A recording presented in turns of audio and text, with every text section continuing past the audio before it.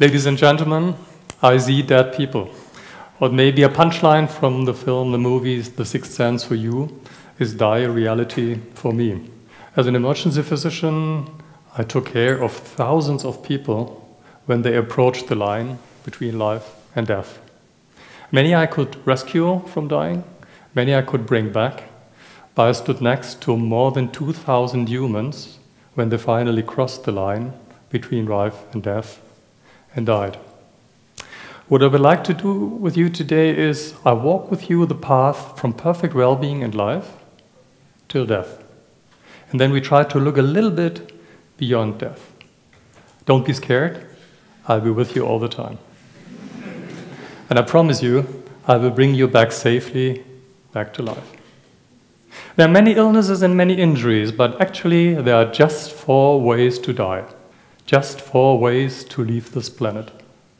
What you see is the upright line, the line on the top of uh, the slide, is uh, the activity level. This is a perfectly normal activity level. This person is alive and kicking. And then an injury or illness sets in, and this person suddenly dies from one minute to the other.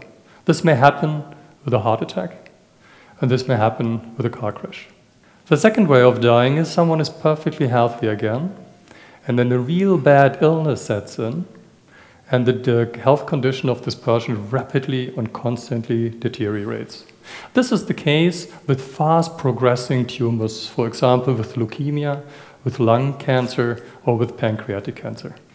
The third way of dying is a person is once again perfectly healthy, and then another illness sets in, and the health deteriorates. Then our therapy starts, and we get this person a little bit better, but not to the baseline this person had before.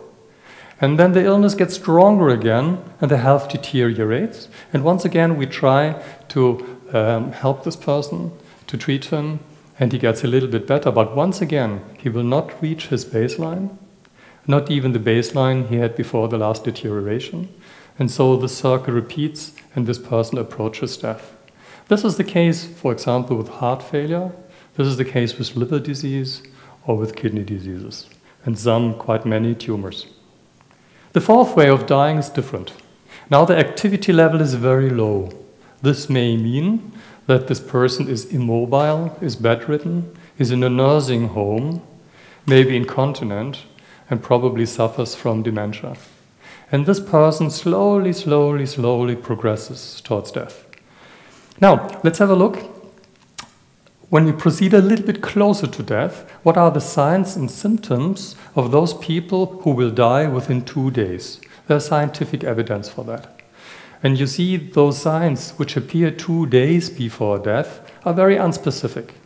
At the present, we cannot predict correctly which person will die within the next two days or not, or will recover. We probably can in the future. We can do this not by one single symptom, but we can do predict it by a set of symptoms or even by a lab test.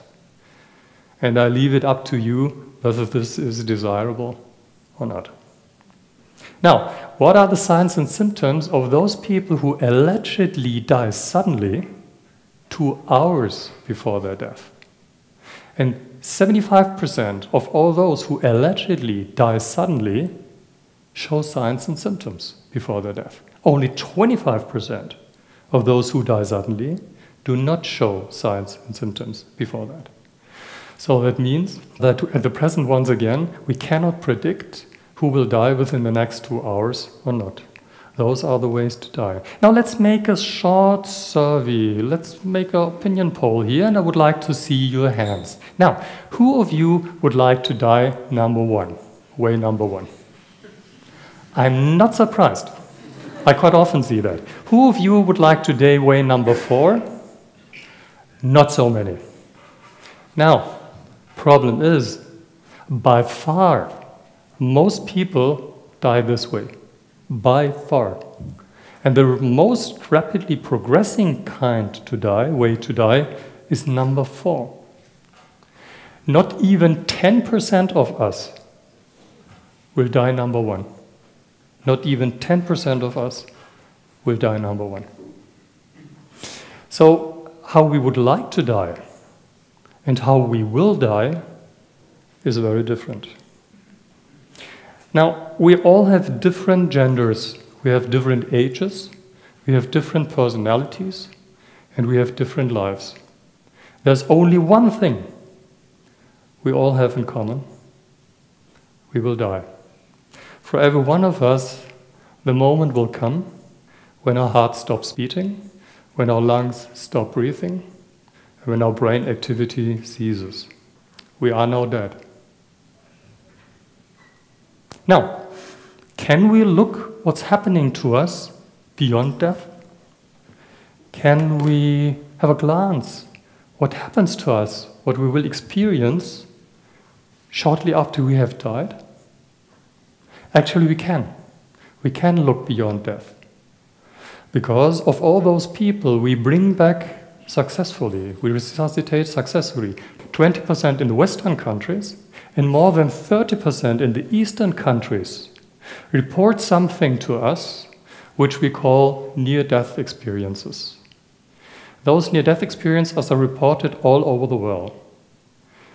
And those reports show striking similarities and reveal a pattern. This means death sets in, and those people who have a near death experience, the first phase is there's a sudden change. And from one instant to the other, all pain is gone. All anxiety is gone. All fear is gone. All noises are gone. And there's just peace, calmness, and tranquility. Some report joy. And quite a number report something startling. There's an insight. The insight I am dead now. This is what we call death. And this insight is there without any anxiety. The second phase of the near death experiences is again a sudden change. And those people report that they are floating above themselves.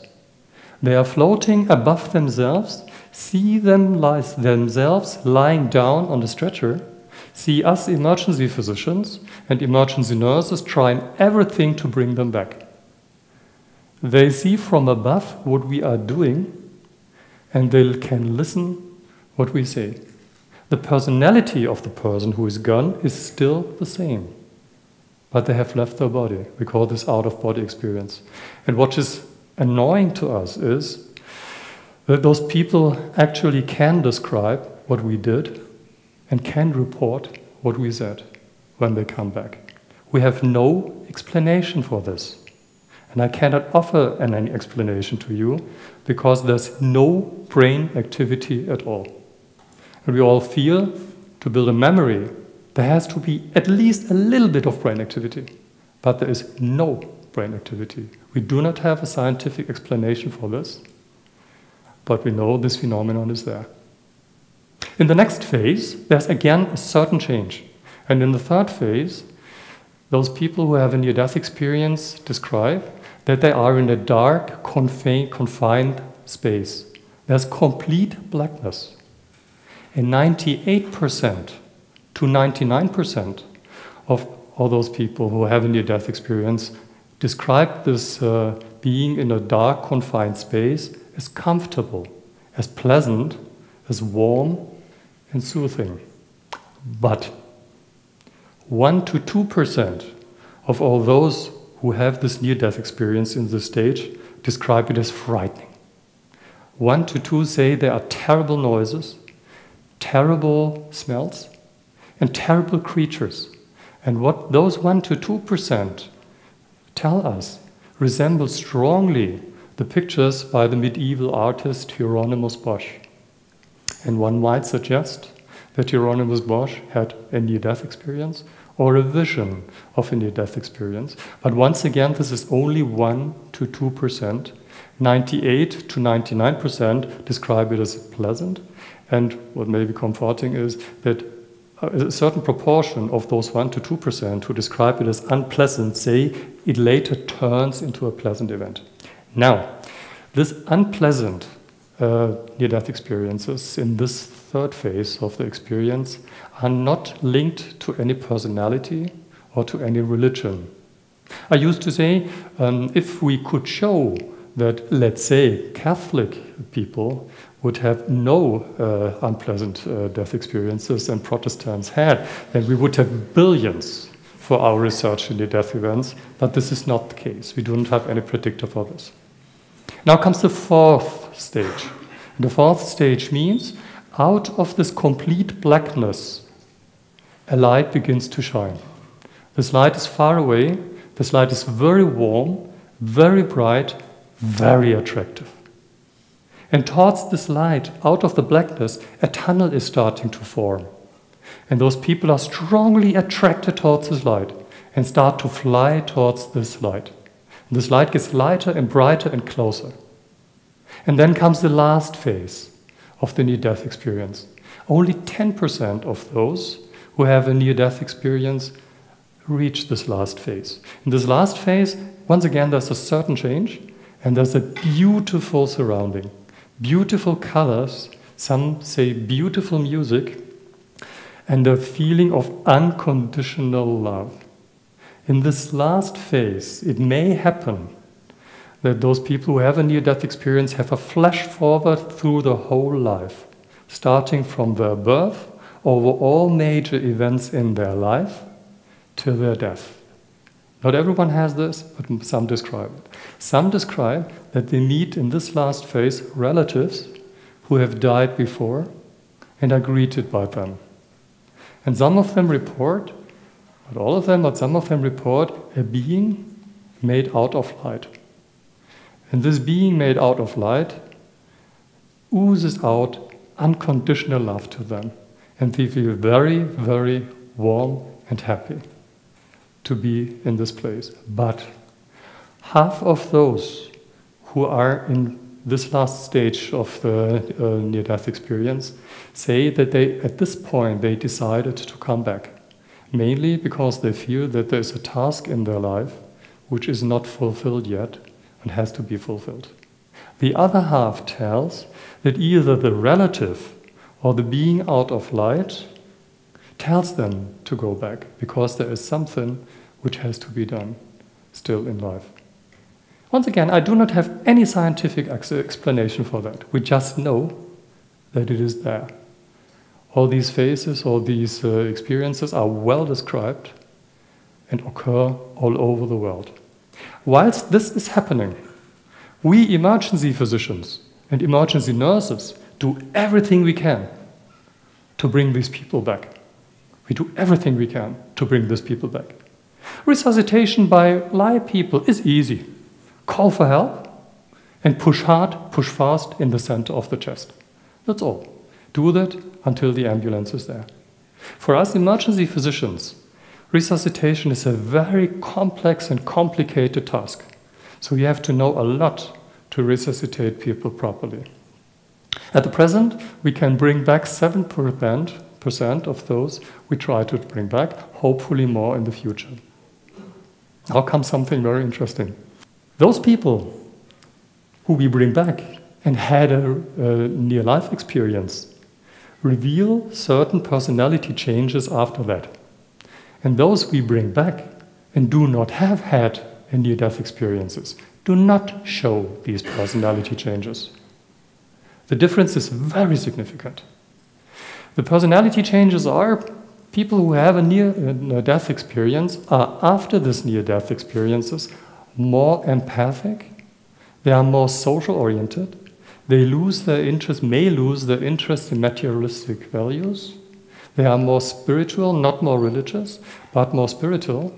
And what is very, very interesting is they completely lose their fear of dying. 98 to, 9, to 100% up to the different studies of all those who had a near death experience completely lose their fear of dying. Now, how do I dare to talk to you about this topic? I'm not an expert in dying, I'm still alive. I'm not an expert in I may be called an expert in bringing people back. This is my job. This is true for many years now. I never had a near death experience of my own, but when I started to study near death experiences, what happened to me is that I found everything familiar. Everything, each phase, each twist, each turn sounded very familiar to me. So if I had known this all before, there might be an explanation for this. Science knows a phenomenon which is called empathic near death event. Empathic near death event occurs if someone is there at the moment of the death of a very close, beloved uh, family member or uh, relative. If someone is there at the moment of death of someone who is very close to him and dies, one might suggest that this person shares his near death event experience with the person who sits next to him. Now, I told you at the beginning, I was with more than 2,000 humans when they crossed the line from life to death and died. And maybe over the years, at any point in time, those started to share their near death experiences with me. And over the years, I developed exactly the same personality changes as those who had a near death event, although I never had one of myself. This includes that I completely lost every fear of dying. I know it's nothing to be afraid of, not at all. And this, my dear friends, is a message I would like to share with you today. And maybe sometime when we meet on the other side, then tell me whether I told you wrong today or right.